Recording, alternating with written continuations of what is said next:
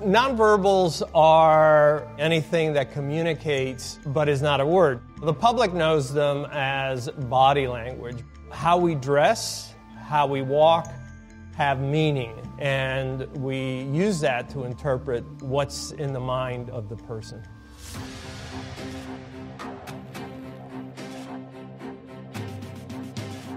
My name is Joe Navarro, and for 25 years I was a special agent uh, with the FBI. My job was to catch spies. Most of my career I spent within the National Security Division. A lot of it had to do with looking at specific targets, and then it was about, well, how do we get in their heads and how do we neutralize them? Our security is based on nonverbals. We look at the person through the peephole. We look at who's behind us at the ATM machine. We know from the research that most of us select our mates based on nonverbals. So we may think we're very sophisticated, but in fact, we are never in a state where we're not transmitting information. There's a lot of myths out there. The ones that stand out is if you cross your arms, that it's a blocking behavior. That's just nonsense. Even when you don't like the person that is in front of you, this isn't to block them out, it's actually to self soothe. Because in essence, it's a self hug. When you're sitting at a movie and you're watching, you're going to cross your arms. You're waiting for somebody, you tend to do this. What's interesting is we do this behavior more in public than in private. The other one that really stands out is as we think about something, we may look in a certain way as we process the information, we may look in another way. It's certainly not indicative of, of deception, and it really shouldn't be used that way. All we can say is the person is processing the information. The other misconceptions are that if the person clears their throat, touches their nose, or covers their mouth, they're lying. We do these behaviors as self soothers, they're, they're pacifying behaviors scientifically and empirically there's just no Pinocchio effect. And people who prattle that and say, well, we can detect deception because the person touches their nose or covers their, their mouth, that's just sheer nonsense. We humans are lousy at detecting deception. Espionage work is often nowhere near what we see in movies. And in one of the cases, we had information from another country saying, You have an American we think is actually a mole who somehow entered the United States, is able to pass as an American, but he's here working for a hostile intelligence service. And just fortuitously, he was videographed coming out of a flower shop. We're looking at the video, and everybody in, the, in our small unit, we were saying, Well, there's not much there. You know, he's coming out of the shop, getting in his car. And I said, Stop the film right there just as he came out of the shop, he took the flowers, and most Americans tend to hold the flowers by the stalk so that the flowers are up. This individual took them and grabbed the stalk and then held the flowers so that they were facing down. And I said, That's how they carry flowers in Eastern Europe. Rather than confront him about, Are you a spy? I decided to do what's called a presumptive. So as I sat there with him, I said, Would you like to know how we know? And he had this look on his face, and, and I said, It was the flowers. And then he confessed. When I came into law enforcement, I thought it was all about the confession. It's really about FaceTime. In my 25 years in the FBI, it was a rarity that a person didn't eventually uh, reveal what I needed to know because we would sit down and have these very lengthy uh, conversations. I look at behaviors to do an assessment. What is this person transmitting in relation to any stimuli? My further questioning comes from my observing these behaviors. The first thing I look at is I look at the hair. Does it look healthy? Does it look well groomed? The forehead is very interesting because a lot of times we reveal stress. A lot of the things that we have gone through life are often etched in the forehead. I look at the eyes to see if they're red or not enough sleep. This small area here between the eyes called the glabella, it's one of the first areas that reveals information to us. Most often when we don't like something, we do that bunny nose of uh, I don't like. We don't really know uh, what our lips look like. And we tend to compress them when something bothers us, when something really bothers us, we tend to suck them in the mandibula and look at the cheeks, we may do something like this. We'll, we'll rub our tongue against the inside of the cheek. But when we try to hide it, then it tells me that this person is trying to do some perception management. And if they are, I want to know why. At the neck, I want to see if there's any head tilt, because head tilt, the person is more relaxed. The minute the head tilt goes away, there's usually some issue. I'm looking at the shoulders you ask somebody a question and they don't know, both shoulders shoot up very quickly. And then I look at the hands. When something's troubling us, we tend to stiffen our fingers, interlace them, and almost like a teepee, we move our hands back and forth very slowly. This is to be differentiated from when we do the steeple, which we do in this position, when something's at issue, we tend to put our hands on our hips and we become very territorial. This is called arms akimbo. But look how it changes when we put our thumbs forward, and then it becomes one of more of I'm inquisitive. But I also look for any behaviors of ventilating because men tend to ventilate at the neck and we do at the very instant something bothers us. And then I look at the legs to see if there's any brushing of the legs with the hands, which is, again, to pacify. And then the feet. Do I see any behaviors such as wiggling of the feet, kicking of the feet?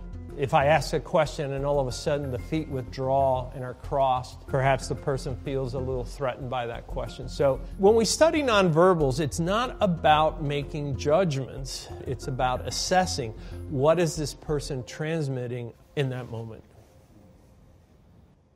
It really is looking at an individual and saying, what are they transmitting? We're all transmitting at all times.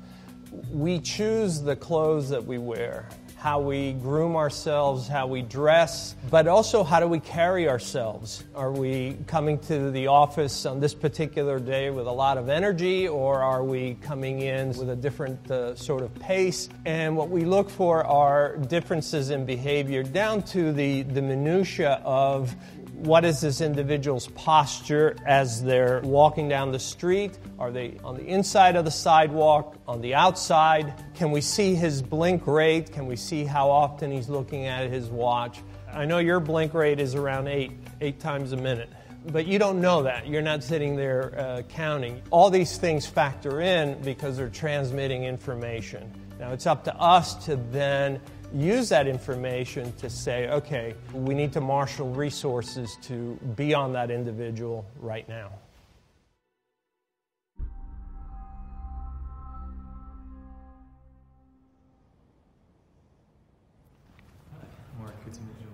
So, in most Western cultures, the first time people touch is when they shake hands. Touching becomes that important because we can always remember a time when we shook hands with someone and we didn't like that. It's also the first time when our bodies release these bonding chemicals that say, I like this person or I don't like this person. So, handshaking is both necessary and essential in most cultures. All right. Pigeons are supposed to be like dirty birds. Nobody actually ever, you know, them as a pet. Ladies, hi, I'm Joe Navarro. Joe, I'm Laura. Laura, how are you? And you are? Khadijah. Khadijah, how are you? Okay. Let me ask you this. Let's back up a little bit. Is this comfortable for you? Yes. Yeah. it's a little bit more comfortable. But it's not for you, is it? Nope. All right. Thank you. All right. So keep talking what we've done here is we've talked about the importance of space and comfort. They don't realize is how much further apart they are now standing. And it's because we have brought this subject up to make them comfortable about saying, hey, it's okay to be comfortable at your perfect distance. And so now we see when they rock, they rock away from each other and they create this space. If you notice, their feet tend to move around more. There's a dynamic going on here where they're kind of trying to find well what, what is the perfect space what is the perfect distance and we know that they're unsettled because of the high degree of movement that's that's going on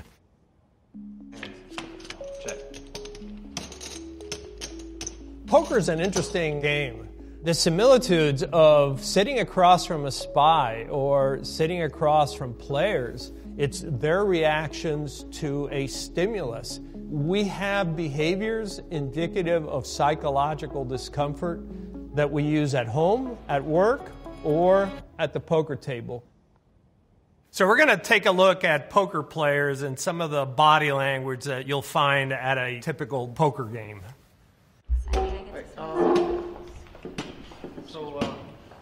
So we'll pause it right there. So, one of the things that you first notice is that when a table is called, this is the first time many of them see each other.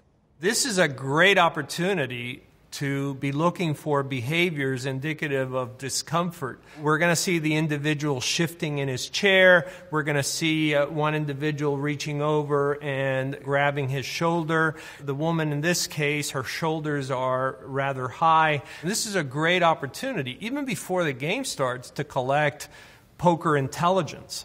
All right, guys. Button is good. Button is good. Button is good. So we'll stop right there. Look where their hands are at here we're looking at player number two and number three, and we notice right away that their hands are on top of the cards. Some players will cage their cards, some players will put their hands directly on top and press them down. And they may do that because the cards have now increased in value. Player number one tends to keep his hands very close to his body. Player number four, she's actually withdrawn her hands from the table because when we like things, we tend to move our hands forward. When we don't like things, we tend to move the hands away. These guys are my cards. So, as we look at player number three, I'm often asked about players who shuffle their chips what you're really doing is self soothing, and this just helps you to make it through the game, and that's really all we're looking for. Oh, come on. Okay, so we'll stop right there. Player number five is sitting there, arms crossed. You don't see a lot of activity. That doesn't mean he's not transmitting a lot of information. On down the line, I want to see where those thumbs of his are because he holds them very close when nothing's going on. But does that change as the game evolves? If you're looking at nonverbals, it's often useful to look at them at double the speed because all the nonverbals that are critical jump out at you as though it were a caricature. All right, so stop right there. The woman in position number four, you see her head moving around quite a bit.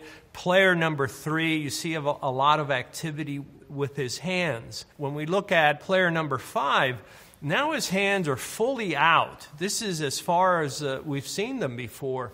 At this point, we know that he's engaged and that he's interested. Now the game is out in the open.